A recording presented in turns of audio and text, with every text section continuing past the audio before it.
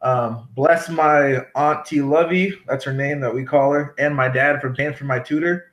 He pretty much was the difference. And what he did was he gave me a linear set of it's almost like them based upon the process of how to answer it.